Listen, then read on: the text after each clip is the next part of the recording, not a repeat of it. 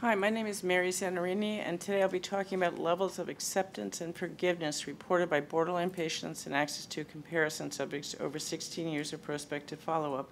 Like Carla, I have a 30-minute talk uh, that I have to give in 15 minutes, so luckily I'm a native New Yorker, so I will just speak extremely rapidly. and it's not moving forward. Oh, there we go. My co-investigators, Frances Frankenburg and Garrett Fitzmaurice, and also Brad Reich, who's here today. And it moves forward after about five hits. What is this? Oh, here, there's the green button here. Okay. Now, the pain of being borderline has long been associated with dysphoric, or borderline personality disorder has long been associated with dysphoric affects and painful cognitions. John Gunderson and Margaret Singer in 1975 wrote a just incredibly famous literature review about borderline patients, and they found that the, all the prior papers described borderline patients as depressed and angry, as well as depersonalized and having brief psychotic experiences. Now, our group studied uh, dysphoria, 15, 50 inner states, characteristics of those with BPD, and taken together, the results of this study suggest, and my co-investigator was uh, Christine DeLuca, that the subjective pain of borderline patients may be both more pervasive and more multifaceted than previously recognized. Spend a lot of time being upset and a lot of different feelings of being upset at the same time and the overall amplitude of this pain may be a particularly good marker for the borderline diagnosis. Now, I'm going to be describing a little bit more about longitudinal results, and Ian Reed, who's here today, this was his program of research when he was a, a postdoctoral student of mine. Borderline patients reported decreasing percent of the time spent experiencing dysphoric affects and cognitions over 10 years of prospective follow-up, which is good news. However, borderline patients continue to report higher levels of time experiencing these affects and cognitions and Axis II comparison subjects, not surprising and not discouraging either. Now, positive inner states, Ian also found that at a baseline study found that positive affective and cognitive states were more common among Axis II comparison subjects than patients with BPD. Again, not a surprise. He found that these baseline findings were also found after 10 years of prospective follow-up, However, these states increased in frequency over time for those in both groups. And he looked at all 50 positive states found on a measure we call the positive affective scale or affect scale, which should have been called the positive inner state scale, but um, I didn't know that until John Gunderson pointed that out to me. And also was a 50-item self-report measure. It assesses positive, affective, and cognitive inner states, and each item assesses the percentage of the time that a subject has felt or thought that way in the past month.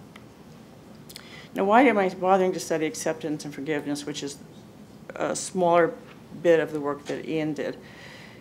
First of all, I think it's very difficult for borderline patients to achieve acceptance and forgiveness, as it means giving up the hurt and disappointment of the past and believing painfully, as we all recognize as we look at our lives as adults, believing that one's life could only have unfolded as it did. We may have wished for something different, but it was what it was. Now, there have been two prior studies of acceptance and forgiveness that I was able to find. Marsha Linehan's lab found that experiential avoidance, sort of the opposite of acceptance, decreased significantly more in those treated with DBT than those in her community treatment by experts group. And Randy Sansone, Kelly, and Forbes found that numerous aspects of forgiveness have significantly lower scores in a self-report measure among those with BPD traits than among other patients in a large internal medicine outpatient practice.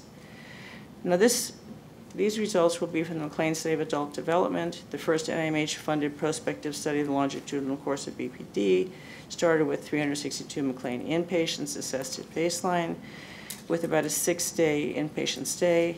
Eight ways of blind follow-up are complete, 2, 4, 6, 8, 10, 12, 14, and 16-year data. 18 and 20-year waves are 99% complete or 99.9% complete. We're still running down some stragglers. And the 22-year wave began in June of 2015.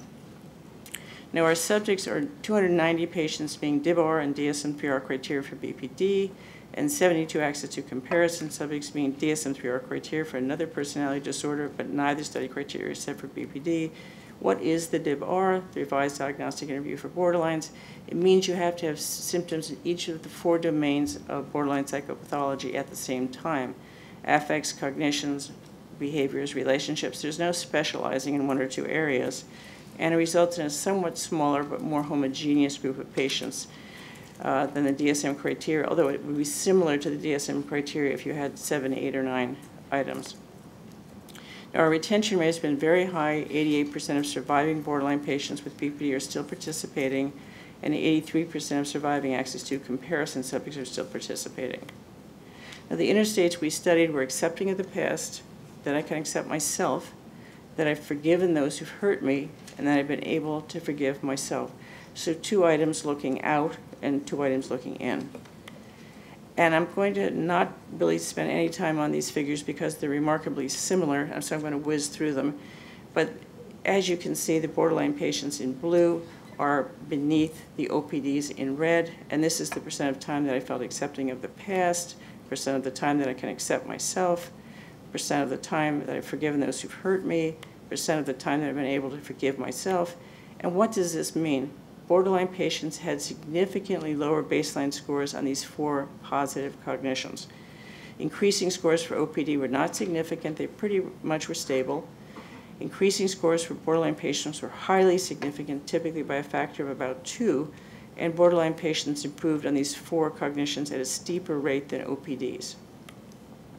Now, this is non-recovered borderline patients versus recovered, and recovered borderline patients in our definition are those with concurrent symptomatic remission, good social functioning, and good full-time vocational functioning, and that breaks down to 60-40%, with more people being recovered than non-recovered. You can see the non-recovered are beneath the recovered, and we'll whiz through them just as we did before. A percent of the time that I felt accepting of the past, percent of the time that I can accept myself, percent of the time that I've forgiven those who've hurt me, percent of the time that I've been able to forgive myself. Now, what do these results mean? Recovered borderline patients had significantly higher baseline scores on these four positive uh, cognitions by a factor of about two, and increasing scores for those in both groups were significant. However, recovered and non-recovered borderline patients improved on these four cognitions at similar or parallel rates. Now, this is a three-group comparison of non-recovered borderline patients in blue, recovered borderline patients in red, and OPDs in green. And what we can see is that the recovered borderline patients and OPDs are quite similar in being able to forgive myself and the other three mature positive cognitions, and both groups are quite different than the non-recovered borderline patients. Now, in fact, recovered borderline patients were lower at baseline than the OPDs 33 percent of the time versus 53% of the time, but about the same at 16-year follow-up, in fact, a little higher, 67% versus 62%. Now, what were our main findings? Borderline patients reported mature positive cognitions involving acceptance and forgiveness less often than OPD subjects at baseline. However, these rates improved dramatically over time for those in the borderline group, but not the OPD group. Non-recovered borderline patients reported mature positive cognitions involving acceptance and forgiveness less often than recovered subjects at baseline. However, these rates improved significantly over time for those in both groups. And borderline patients were very similar to Axis II comparison subjects over time. And in conclusion, borderline patients, particularly those who have recovered, are able to increasingly accept and forgive others and slightly less often themselves, often recognizing that they've not just been hurt by others, but they've, in a way, inadvertently hurt others as well. So that's my talk. I don't know how fast it was. Okay, questions? Discussion?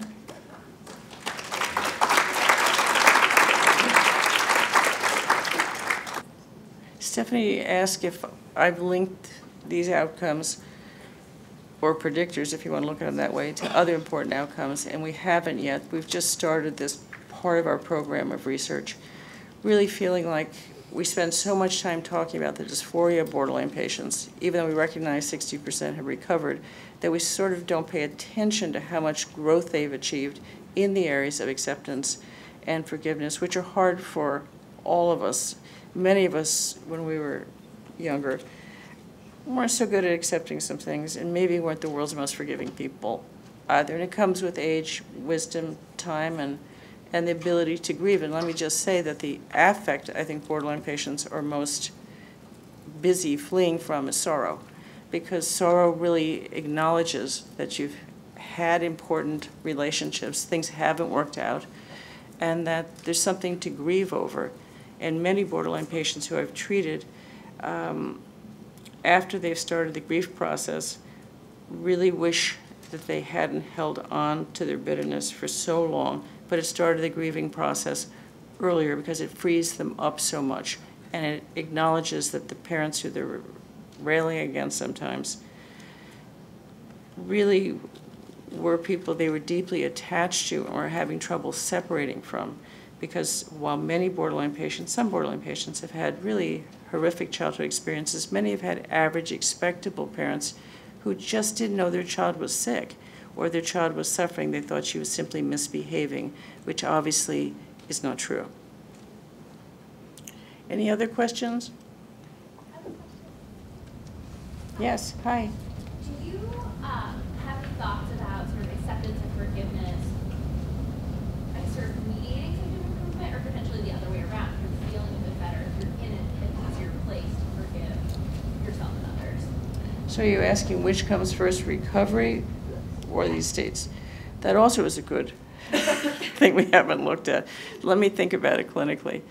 Um, I would imagine forgiveness and acceptance are on the, it, they're moving with people on their way toward recovery. But once you're recovered, you both are more in touch with this, but you, it also isn't quite as important anymore because you've filled your life with appropriate other adults so that you, also that gives you more time and room really to forgive your parents and to accept yourself because also as you start to have your own children, what seemed like oh, I couldn't believe she did that. And then you notice, my God, I'm doing it too, and like every other mother in my playgroup is doing it too.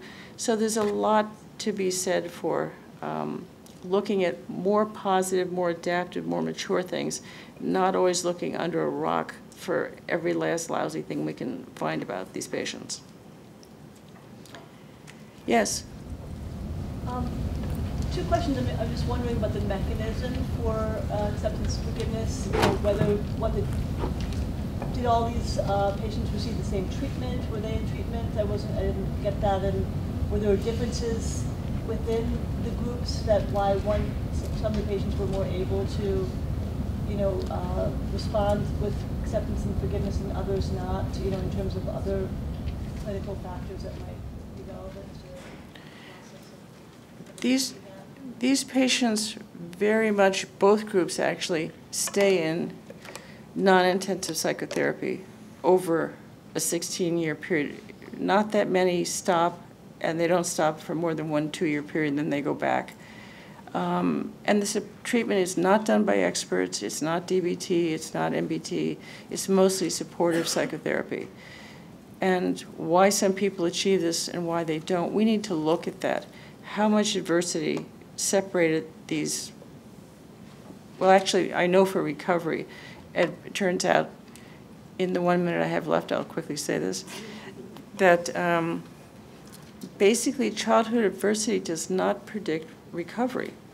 Um, whether it was so long ago and far away that it doesn't, or whether it's really what we have found predicts recovery, which is your own inner temperament and competence that predicts recovery. It's not what other people did to you or didn't do for you, it's what you brought to the table temperamentally and in terms of your level of competence and resilience.